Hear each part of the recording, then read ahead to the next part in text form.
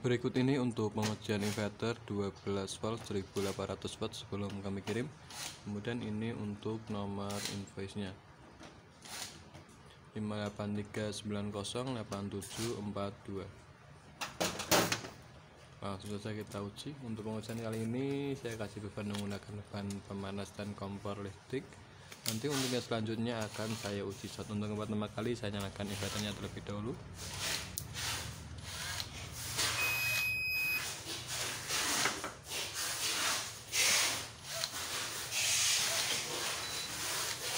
Kemudian langsung saja kita uji untuk pertama kali akan saya kasih beban. Menggunakan beban pemanas di sini saya nyalakan semua. Kemudian di sini dia kebaca sampai 1200an watt. Kemudian saya matikan saya ubah menggunakan kompor listrik ini ya. Kemudian kita bisa lihat di sini bebannya dia kebaca sampai 1700an watt. Kemudian saya lihat sini di sini dia udah kelebihan beban sampai 1800 watt lebih ini ya. Kemudian dia akan versi off karena ada kelebihan beban untuk kode R nya tidak melihat LCD ada kode E12 kemudian nanti setelah berapa detik dia akan hidup kembali.